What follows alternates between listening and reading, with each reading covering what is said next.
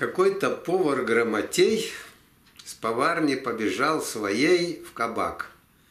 Он набожных был правил, и в этот день по куме тризну правил. А дома, стеречи съестное от мышей, кота оставил. Ну что же, возвратясь, он видит на полу объедки пирога, а Васька кот в углу припав за уксусным бочонком, мурлыча и урча трудится над курчонком. «Ах ты обжора! Ах, злодей!» Тут повар Ваську упрекает. «Не стыдно ли стен тебе? Не только что людей!» А Васька все-таки курчонка убирает. Как?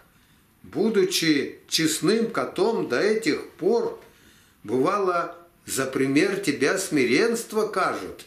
А ты? Ах ты! Какой позор! Теперь все соседи скажут, кот Васька плут, кот Васька вор.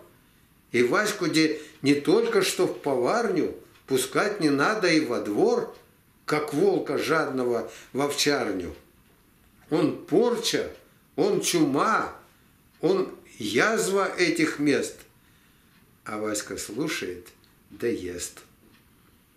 Тут ритор мой, дав слов течению, не находил конца нравоучению.